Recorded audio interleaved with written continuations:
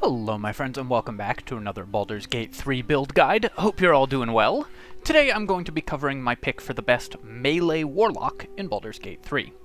When you first meet Wyll, he introduces himself by leaping into combat, skewering a low-level goblin, shouting his name and title in a booming voice. Um, and I really wanted to capture that dashing swordsman feel for him, which Warlocks in Baldur's Gate 3 unfortunately somewhat struggle to do.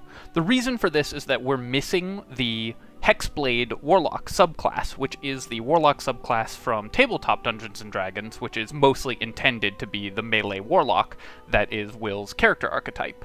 Wyll therefore needs a little bit of help to be able to fulfill his role as a melee warlock eh, who can get into combat, mix it up, and be charismatic while still hurling spells around. So we're going to put together a build that a build that allows him to do both. First up, let's take a look at his stats. So one thing that I want to note before we make any changes is that the Warlock stats, the default recommended stats for Warlocks in Baldur's Gate 3 are terrible. They have five completely useless points floating in intelligence. They have three odd numbers. Uh, they get no strength, which is important if you want to be a melee character or dexterity, uh, depending on if you're using finesse or strength, although we will later mitigate that through a subclass feature of the Warlock in this build.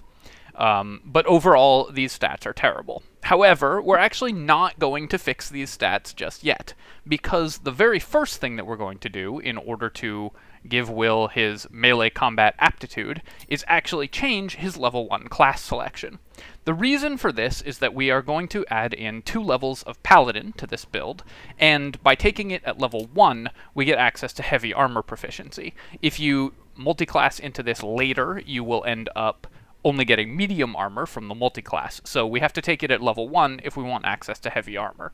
You won't necessarily wear heavy armor throughout the game, but it's very important that you have access to it because there's lots of good heavy armors that will synergize well with what we're trying to do, and more options are better than fewer options, obviously, so you want to take Paladin at level 1 to ensure you have access to that.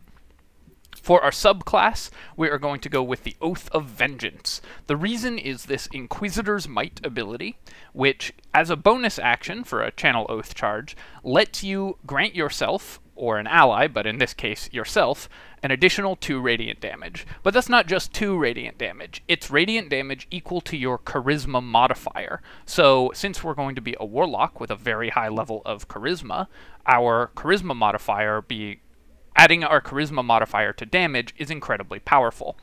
You've seen that in my previous Warlock build where I talk about how good it is to add your charisma to damage on Agonizing Blast. Well, this way we're going to be able to do it on our weapon attacks, which we can do for several several times around. Uh, let's also now fix our stats.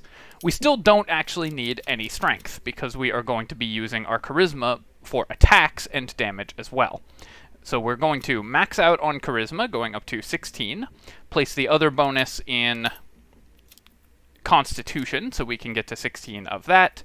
Get ourselves 14 Dexterity, and with our remaining 2 points, pick up 12 Wisdom, just for the saving throws. These last 2 points you could move somewhere else, whether that be to uh, Strength or Intelligence. Um, in particular, I would consider moving them into strength just to give you a little more jump distance and carry weight, especially if you're a main character. But this is going to be a really good stat spread by default for most melee character for for most caster character classes. For our skills, if you were building this for a main character, you definitely want the conversation skills. If it's Wyll as a supporting character in your party and you have someone else mostly handling conversation, you won't need these conversation skills as much and can move the skill points elsewhere. Um, our floating skill point could go to sleight of hand because we'll have decent dexterity. Stealth is always extremely useful. Perception is good to have in a party, but overall, you should pick what you want most of, depending on what your character is intended to do. If it's a main character, or if you want Wyll to be your party face, then you will pick up points in the conversation skills. Probably persuasion and deception are the two that come up the most often. And if you are doing something otherwise, then you'll want it in stealth or sleight of hand. I also do highly recommend proficiency in athletics. Being able to shove is really nice, even with low strength. Alright, so we've gotten our charisma to damage, which is the step one in making this char character powerful in melee. Let's go on to level two. At level two, we're going to jump into Warlock, because now we get access to Eldritch Blast and all of the Warlock spells. We also get to take our The Fiend subclass, which has this really nice ability for a melee character. Whenever you reduce a hostile creature to zero hit points, you get your Charisma modifier plus your Warlock level in temporary hit points. Since we're going to be putting most of our levels into Warlock throughout this build, this is a consistent and powerful source of additional temporary hit points that will definitely help keep you alive. Especially because we have heavy armor proficiency, you can get some heavy armors that have damage reduction, and that will allow you damage reduction to incoming damage multiplies the value of these temporary hit points significantly. This build is one of the best at using this Fiend subclass feature, and it's a fairly powerful feature if you are mixing it up in combat and both killing and taking damage, so it's really nice to be able to use it. For our spell selection, we definitely want Armor of Agathys. It's the best level 1 spell for Warlock, and also, while you can't have the Fiend temporary hit points restore the hit points from Armor of Agathys. The return damage is still very valuable, and the temporary hit points are good as well. Um, for our second spell at early levels, you should just take Hex. It will allow you to increase your damage. At this point, you will probably be playing mostly as a ranged character, just using Eldritch Blasts, just like any other Warlock. Although, if you have any finesse weapon, you can be attacking in melee using your dexterity at this point. For our, cantrip selection, uh, obviously you need Eldritch Blast, and for our second cantrip, I think Blade Ward is a good pick on this character for the, a similar reason as it is on other tanks. Um, while it's not a great action in combat, typically, it can be better on this character because it can allow you to protect your Armor of Agathys and return damage with that. It can allow you to protect your Fiend temporary hit points. Um, so it can really increase your longevity in combat. You usually won't want to be spending turns on Blade Ward in combat, but it has enough utility when you have sources of temporary hit points that it's worth picking up, I think, compared to the rest of the uh, Warlock cantrips.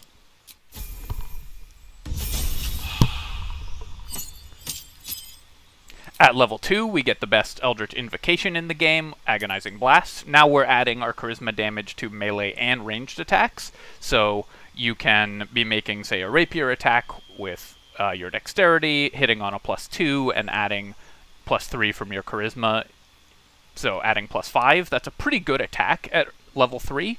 Um, and then, of course, you have your ranged attack with Agonizing Blast, hitting for 1d10 plus 3, also a pretty solid ranged attack at this level. And then for our second uh, Eldritch Invocation, you have a choice here between Repelling Blast and Devil's Sight. These two are by far the best remaining two. Um, and I would typically go, I think, in this spot for Devil's Sight because this will allow us, once we get our next level of Warlock, to cast darkness and fight enemies inside the darkness while at full effectiveness. Since we're a melee character, drawing enemies into a darkness cloud that we have up on ourselves is extremely powerful, because we'll be able to beat them in melee, and they will be blinded with no save while fighting us in our own darkness cloud. So your typical combat pattern at this point is going to be, well, next level is going to be to cast darkness on yourself, allow the enemies to enter melee with you, and then start beating them up in melee.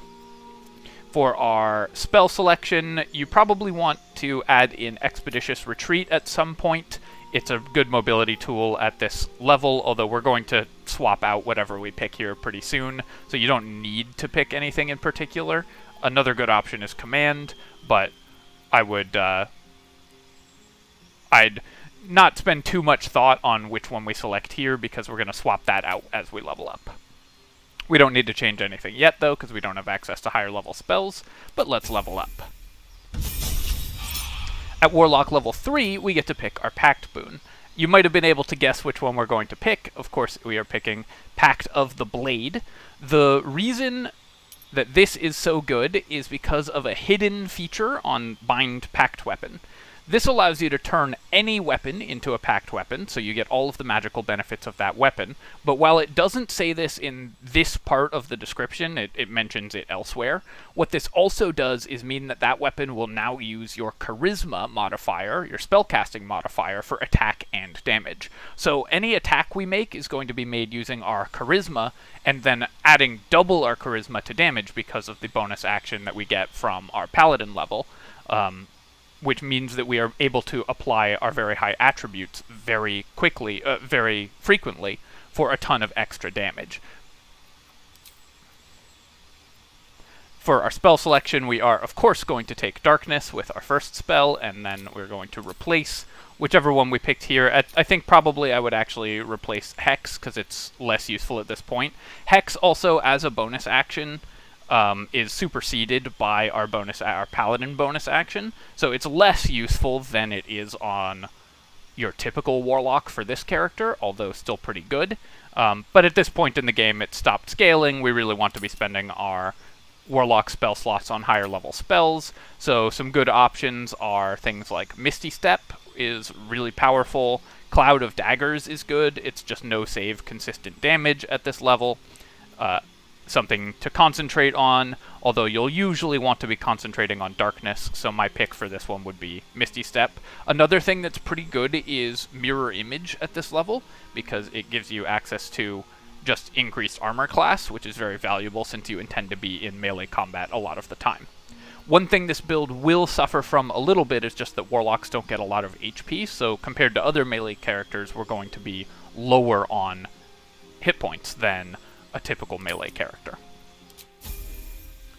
Misty Step's mobility comes in handy a lot. At this level, we're actually going to go back and take our level 2 of Paladin. Because we now have access to second level Warlock spell slots, level 2 Paladin allows us to use those for smites. Warlock spell slots come back every short rest, so every time we attack with a Warlock uh, with a with a weapon and hit with it, we can spend a warlock spell slot, which only costs us a short rest-based resource to do smite damage. It will also always use our highest level spell slot, so at our level 2 spells are going to hit for 3d8 bonus smite damage, which is an incredibly powerful effect. We also get access to a bunch of really good paladin spells. The most important one is Bless, although we'll often want to be concentrating on darkness instead, but Bless is very useful if you are in a team and does increase your ability to hit.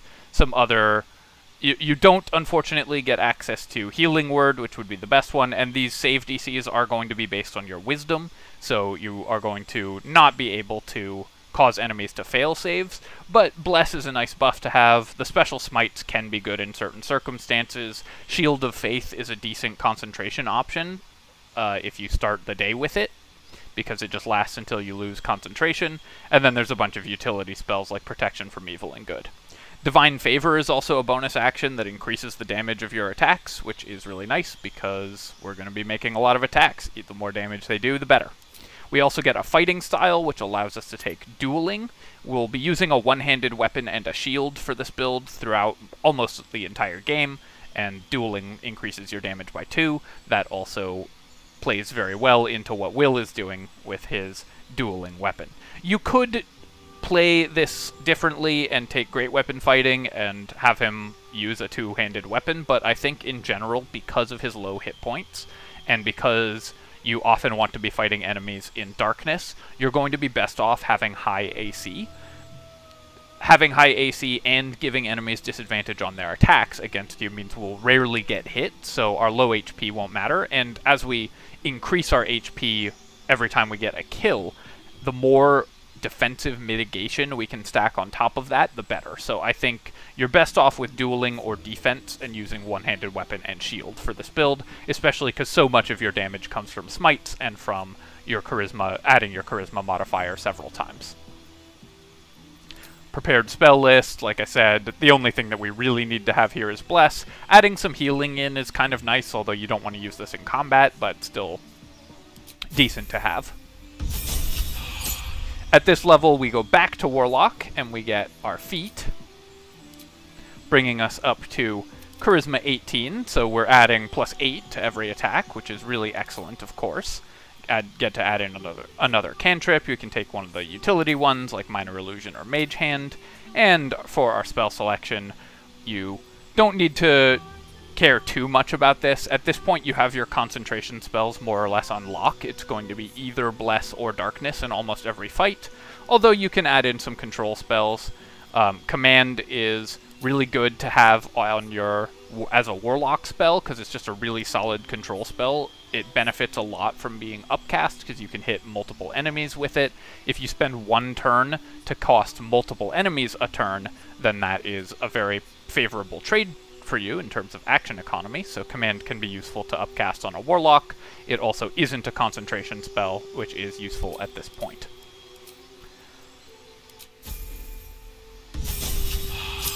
At warlock level 5, you get extra attack, which is of course one of the best features in the game, uh, especially because we are going to be adding our charisma modifier to damage on every attack, so doubling your attacks in a round is very powerful.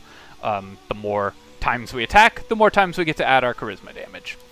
For our Eldritch Invocation, we're going to take whichever one we didn't take here, but I highly recommend that it be Repelling Blast at this level and that you take Devil Sight on level 3.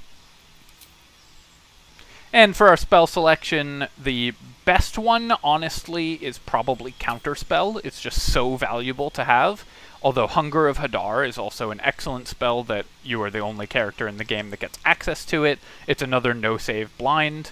Um, it does damage at the end and at the start of a character's turn, so if you can keep them locked in that uh, area, they are going to take extra damage, which is really powerful, but it's very important to have Counterspell. I would recommend probably replacing Expeditious Retreat, which we're no longer using, with Hunger of Hadar and just getting access to both.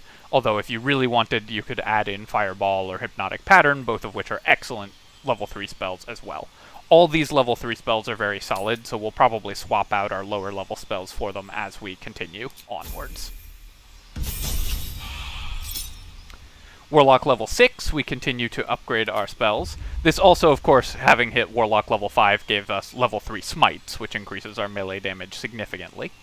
So we'll just take kind of whatever. You can make a replacement here at this point. Honestly, I think that this spell selection is quite good, though. So I might just stick with this. Um, but at this point in the game, you should have a pretty good feel for what spells you're actually using and which ones you aren't. Get rid of the ones you aren't to take ones that you might.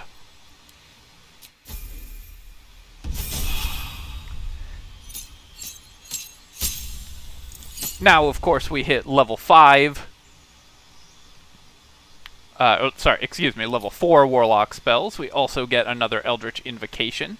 I wouldn't take one of these ones that allows you to cast higher level Warlock spells, so at this point there's a few options here. Um, but most of these are not going to, to matter that much. One with Shadows has some uses, um, and of course there's always stuff like beast speech. If you wanted to get that a little earlier, you could have taken that at a lower level maybe, but I wouldn't have done that. Another option, if you have found a good robe or or clothing that you prefer to use to your heavy armor, is to take Armor of Shadows. This you can use while you have a shield equipped, and there are some robes that are really excellent for Warlocks. I'll, I'll be showing you one in a moment. Um, so it can be valuable to give up on your heavy armor in order to have Armor of Shadows and a powerful robe equipped instead of heavy armor. So that's probably what I would take. It just gives you a little more versatility. For our spell selection at 4th level, there's honestly not that much that's super powerful here, although because we're fighting in melee, Fire Shield can be fun. It's another non-concentration spell. Most of the time, though, we're going to be spending our spell slots either on things like Counterspell or on just Smites. There are a couple fights in the game that are completely solved by having access to Wall of Fire, so I would probably just pick that one up, because it can basically win certain encounters entirely by itself. Uh, other than that, though, your level 4 spell selection I don't think is actually incredibly important for Warlocks. So again, pick whatever you think is cool. we keep going down the Warlock path here, gaining access primarily to another feat. Of course, we want to, uh, to boost our Charisma as high as possible, since we are adding it several times to our damage. And then you just take whichever spell you think is going to be most valuable here. And at Warlock level 9, we get access to 5th level spells. 5th level smites are really strong, of course. Um, and while the Warlock 5th level spells are not that great, Hold Monster I have found typically not very good because the enemy needs to fail two saves before it costs them a single turn, and honestly your damage just from your weapon attacks is going to be better than Flame Strike or Cone of Cold most of the time, weapon attacks and Eldritch Blasts. Um, so I would not worry too much about actually casting these spells. You are either going to be using the lower level utility spells um, or casting stuff like Armor of Agathys. I do think that if you want to lean into the Armor of Agathys plus Fire Shield part of the build, then that is a viable route, although I recommend checking out my Invincible Tank Wizard build, uh, because that one was really fun and really works really uses that synergy to do a ton of retaliate damage, so check that out if you're interested in doing that. You also get an Eldritch Invocation here. Probably the best of these is actually Minions of Chaos, because Conjure Elemental can be very valuable. It gives you a day-long summon, which can be really useful on some days. Um, of course, it's a day-long summon at the cost of a short rest resource, which makes it significantly different than the day-long summons for other spellcasters, because warlocks aren't spending, uh, like most casters only get one level 5 spell slot per day, or two level 5 spell slots per day, so depending on their, their level and resources.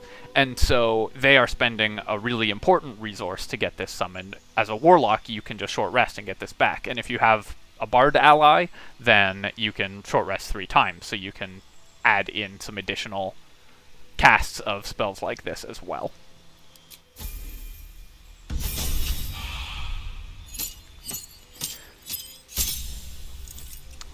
Warlocks mostly don't get much past level 9, though, so there's a couple options that we could go. We could just take level 10, and gain Fiendish Resilience. This is not not terrible at all. Just gaining resistance to a type of damage um, is a very valuable effect.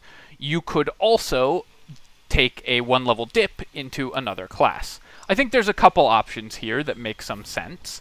Uh, you could get Bardic Inspiration from a Bard, but that's not a that's more of a role-playing choice for Wyll, because he's sort of bardy, but probably the best is actually to take a level of Sorcerer, because this gives you access to the Storm Sorcery subclass feature, giving you fly movement whenever you cast a spell, very powerful for any melee character to be able to reposition.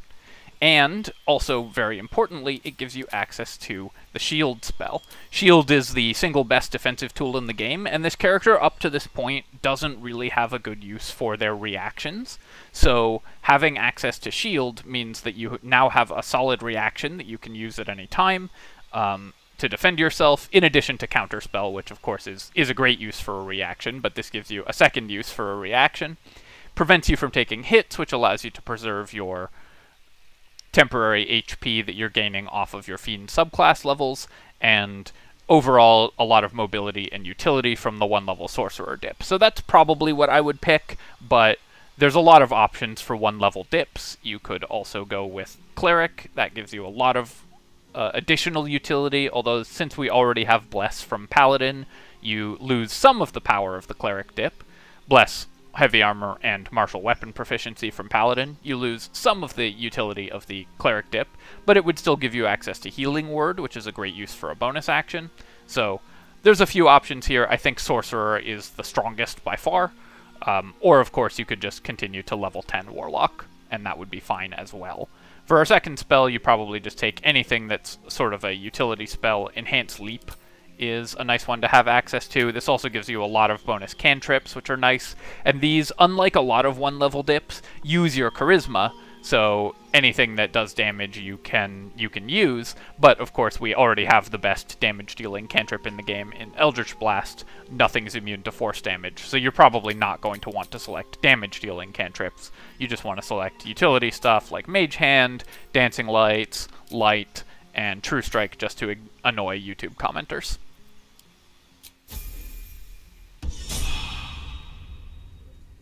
So putting it all together, we are able to, let me bind pact weapon on this, on the weapon we have in our hand here. And so now, when we attack with this weapon, it's going to use our charisma for attacks and damage. If I first cast my paladin ability, Inquisitor's Might, this only gives, we can only do this uh, once per short rest also, I should mention that, so it's only, only once. But it's a bonus action to do this, and then do some additional damage here. Let me also equip this so we actually get our plus two damage from our weapon style. Oops. Let that time out. Alright, let's put this all together, shall we? So, our AC is going to be 15 with no armor equipped, but with heavy armor equipped, we manage to hit AC 20. We also gain hit points. This is just with normal plate armor equipped. We gain hit points every time we kill an enemy. We'll gain 14 temporary hit points, which is especially powerful. Um, you don't really need specific gear for this build, although I will mention this Potent Robe just because it's insanely strong for Warlocks, um, giving you the additional damage equal to your Charisma modifier on cantrips, so anytime you attack at range which with Eldritch Blast, the Potent Robe is very valuable. Anything that increases your damage on your attacks is good, so like these Dark Justiciar gauntlets, and also there is a hat that increases your charisma Oops, I didn't put that in my inventory before doing this. So let's find it. This one. If you when you get this in Act 3, increasing your charisma is of course ridiculously powerful on this character. So those are some some items to look out for. But with our plus one longsword that we have made our pact weapon, we can Oh, I need to exit because he lost his, uh, lost his actions here. We can, as a bonus action, Inquisitor's Might ourselves. And then attack an enemy. If we were to hit, or if we decide to use a smite, we can smite with a level 5 smite for 1d8 plus 8 plus 5 plus 5d8 damage, which is incredibly strong.